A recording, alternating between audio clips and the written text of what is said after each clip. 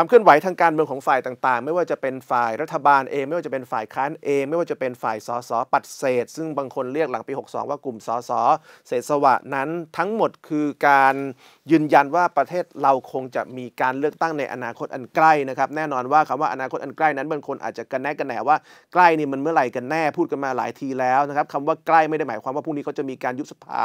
มีการเลือกตั้งกันนะครับแต่ว่าความเคลื่อนไหวทางการเมืองทั้งหมดคือทุกคนเชื่อว่ามันน่าจะมีในอนาคตอันใกล้นะครับซึ่งก็ไม่ได้แปลว่าพรุ่งนี้จะมี แต่ว่าความเคลื่อนไหวทั้งหมด ไม่ว่าจะเป็นการที่พลเอกประยุทธ์พลเอกประวิตยลงพื้นที่อย่างทียิบนะครับก็ดีหรือว่าการที่พักฝ่ายค้านลงพื้นที่อย่างหนักหน่วงก็ดี หรือว่าการที่สสพักเล็ก เริ่มมีการเคลื่อนไหวตามแนวทางไพบุญโมเดลที่จะไปรวมตัวกับ พักใหญ่ต่างๆ ที่เชื่อกันว่าเคยให้ข้าวให้น้ำให้กล้วยอุปถัมภ์ตัวเอง ในรูปของการเป็นนอมินีอย่างไม่เป็นทางการนั้นกำลังชัดเจนมากขึ้นทุกขณะ และเป็นการเคลื่อนไหวที่คลี่คลายบนสมมติฐานว่า ในการเลือกตั้งครั้งหน้านั้นทิศทางจะเป็นการเลือกตั้งของพรรคการเมืองใหญ่ๆนะครับซึ่งก็อาจจะประกอบด้วย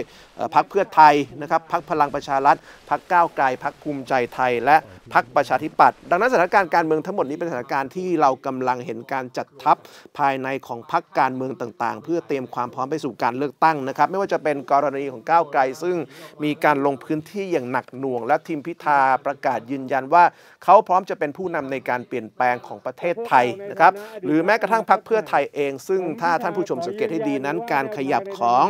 อดีตนายกทักษิณชินวัตรอย่างหนักหน่วงอีกเช่นเดียวกัน ไม่ว่าจะเป็นการแสดงออกผ่านเวทีคลับเฮาส์หรือการออกมาจัดรายการในวันศุกร์ที่ผ่านมา แสดงความคิดถึงคนอีสานนั้น ถือว่าเป็นเรื่องที่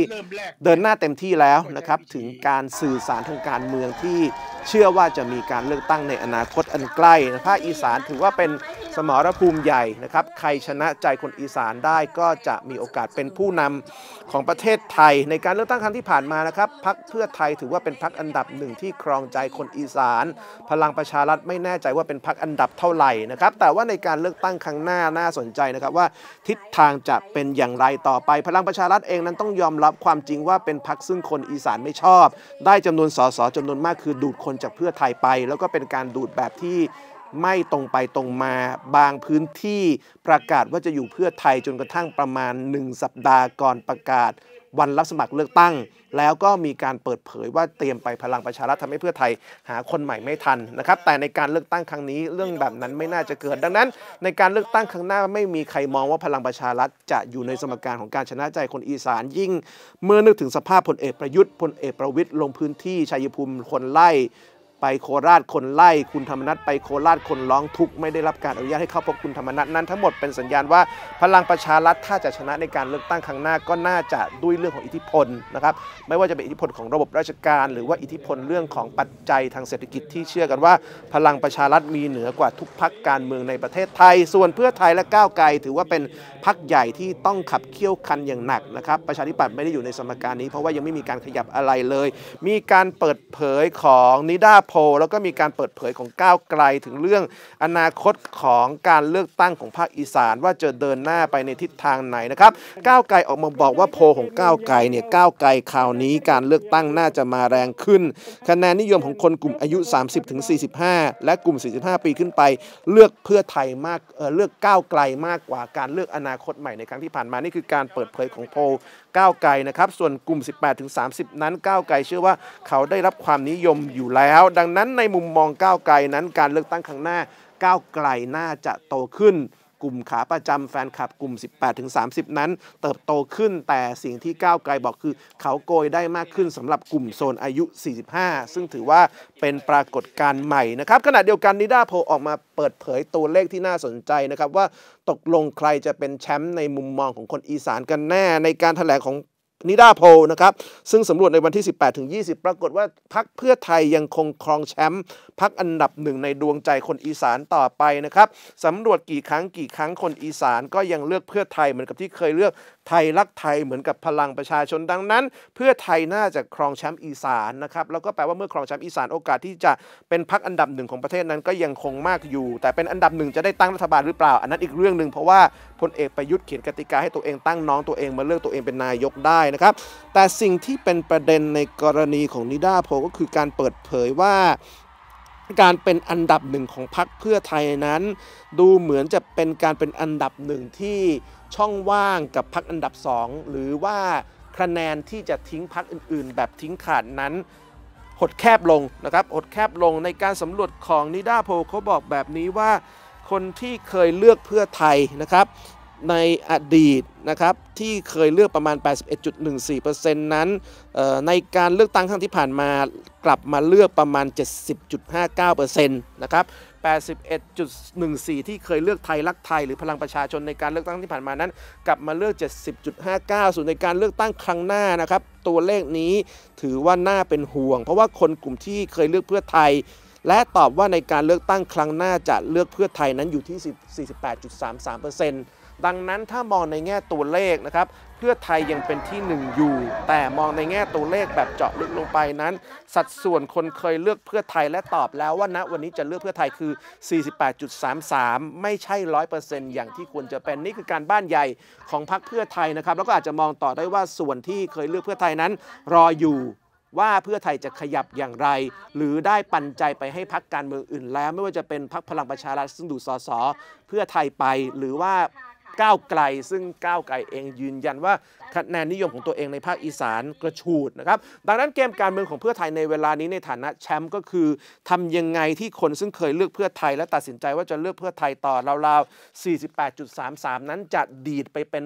80%ไปเป็น 90%หรือไปเป็น 100%ให้ได้ การผลักดันให้อดีตนายกออกมาสื่อสารทางการเมืองถือว่าเป็นเรื่องที่มีความจำเป็น เพราะต้องยอมรับว่าดรทักษิณคือผู้นำที่ ประชาชนนิยมมากที่สุดในประเทศไทย ผ่านการเลือกตั้ง ไม่เคยมีผู้นำคนไหนที่คนเลือกมากขนาดนี้ แม้กระทั่งในภาคอีสานเองไม่เคยมีพรรคการเมืองพรรคไหนที่ประชาชนเลือกแล้วเป็นแชมป์ภาคอีสานต่อเนื่องมาเกิด 20 ปี เท่ากับพรรคซึ่งมีสัญญลักษณ์ว่ามีความเกาะเกี่ยวยึดโยงกับดร ทักษิณชินวัตรนะครับ ดังนั้นสถานการณ์การเมืองตอนนี้ต้องจับตามองว่าอดีตนายกจะแสดงความเห็นจะสื่อสารอย่างไร แต่โจทย์ที่ยากสำหรับพรรคเพื่อไทยก็คือ ดร ทักษิณหรือว่าคนอื่นๆ ซึ่งไม่ได้เป็นสมาชิกชิพรรคเพื่อไทยนั้น ไม่สามารถแสดงออกในเชิงสนับสนุน หรือว่าเชิญชวนให้คนไปเลือกพรรคเพื่อไทยได้ แตกต่างกับกรณี การเลือกคุณยิ่งลักษณ์ในปี 54 ซึ่งสามารถประกาศได้อย่างเปิดเผยว่า ทักษิณคิดยิ่งลักษณ์ทำหรือว่าทักษิณคิดเพื่อไทยทำแต่ว่ากติการอบนี้ทำไม่ได้นะครับนี่คือ โจทย์ที่ยากของพรรคเพื่อไทยว่าทำอย่างไรที่ความนิยมซึ่งคนมีต่อคุณทักษิณสูงนะครับอย่างที่ไม่เคยมีนายกคนไหนมีในประเทศไทยนั้น จะสามารถแปลเป็นคะแนนในการเลือกตั้งได้นะครับดังนั้นการวิพากษ์วิจารณ์การตรวจสอบรัฐบาลพลเอกประยุทธ์ถือว่าเป็นจุดที่มีความสำคัญมีความจำเป็นคุณสุทินคลังแสงยังยืนยันอยู่นะครับว่าเลือกตั้งคราวนี้เพื่อไทยชนะอันดับหนึ่งแน่นอน แต่ว่าอันดับหนึ่งเนี่ยคะแนนจะมาเท่าไหร่ยังไม่ทราบนะครับแต่มั่นใจในความเป็นอันดับหนึ่งของพรรคเพื่อไทยนะครับดรอรุณีกาศยานนท์โคศกพรรคเพื่อไทยออกมาวิพากษ์วิจารณ์ว่าสถานการณ์แบบนี้ คุณประยุทธ์ควรจะฟังสิ่งที่ดรทักษิณพูด ในการแก้ไขปัญหาต่างๆนะครับแล้วก็มีการพูดถึงสถานการณ์ปัญหาน้ำมันขึ้นปัญหาสินค้าแพงว่าเป็นปัญหาที่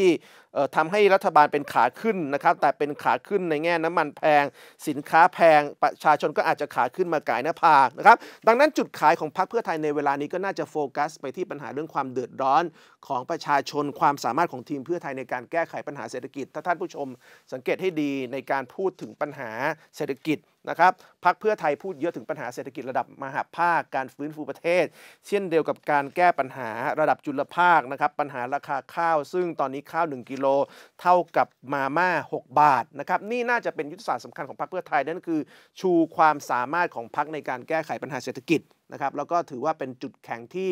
ยังไม่สามารถมีพรรคการเมืองอื่นมาเทียบเคียงได้นะครับสถานการณ์การเลือกตั้งตอนนี้ ก็ต้องยืนยันว่าเพื่อไทยยังคงเป็นแชมป์ต่อไป แต่เป็นแชมป์จะเเป็นแชมป์ด้วยคะแนนที่ทิ้งห่าง หรือเป็นแชมป์แบบที่เหมือนกับพรีเมียร์ลีกบางฤดูที่ต้องไปบทกันว่าที่ 1 กับที่ 2 จะคะแนนขาดกันขนาดไหน สิ่งนี้เป็นสิ่งที่ยังไม่มีใครรู้แต่แน่นอนว่ามีผลต่อการจัดตั้งรัฐบาล ถ้าเพื่อไทยชนะขาด โอกาสที่เพื่อไทยจะเป็นแกนนำในการจัดตั้งรัฐบาลและ เอาพลเอกประยุทธ์ออกจากการเมืองไทย ก็น่าจะง่ายขึ้น แต่ถ้าชนะไม่ขาดการรวมเสียงเป็นเรื่องที่มีความจำเป็นต้องไปลุ้นว่าฝ่ายประชาธิปไตยนั้นจะได้เสียงมากขนาดไหนนะครับนี่คือสถานการณ์ของประเทศไทยในภาวะปัจจุบันนะครับ บอกนิดาโพนะครับ บอกว่าร้อยละเจ็ดสิบจุดห้าเก้าเนี่ยนะครับเจ็ดสิบจุดห้าเก้าเนี่ยนะครับเลือกพักเพื่อไทย สีน้ำเงินเนี่ยนะครับ ที่เขียนเนี่ยบอกว่าเลือกพักเพื่อไทยนะครับ ก็เรียกว่าร้อยละเจ็ดสิบนะครับ นี่คือนิดาโพที่ออกมาเมื่อเช้าเนี่ยนะครับ ว่าฐานเสียงพรรคเพื่อไทยเนี่ยเรายังแข็งแกร่งอยู่นะครับแล้ววันที่ 28 ตุลาเนี่ยนะครับ เราก็จะมีการจัดประชุมใหญ่สามัญประจำปีที่จังหวัดขอนแก่นนะครับ ซึ่งแคมเปญเนี่ยที่เราออกในชุดนี้ก็คือพวกนี้เพื่อไทยนะครับ รัฐบาลชุดนี้ถือได้ว่าเป็นรัฐบาลขาขึ้น คือราคาสินค้าขึ้นแพงทุกอย่าง แต่ที่ตกต่ำคือชีวิตของประชาชนค่ะ สิ่งที่เกิดขึ้นขณะนี้ คือการซ้ำเติมทุกข์และความเดือดร้อนของพี่น้องประชาชนค่ะ ประชาชนบางส่วนยังตกงานและขาดรายได้ แต่รัฐบาลกลับไม่เหลียวแล ไม่เคยร่วงรู้ถึงความลำบากตรงนี้ค่ะ มองปัญหาเป็นเรื่องไกลตัวทำเป็นทองไม่รู้ร้อน นิ่งเฉย แต่กลับสร้างมายาคติ หลอกประชาชนด้วยการออกมาตรการค่าครองชีพต่างๆ เหมือนกับให้ปลาประชาชน แต่ไม่สอนให้ประชาชนหาปลาเงินเท่าไหร่ก็ไม่เพียงพอ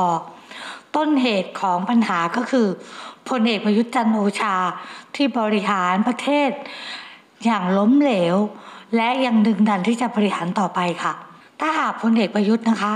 คิดไม่ออก อาจจะลองเปิดใจ ฟังข้อเสนอแนะของพี่โทนี่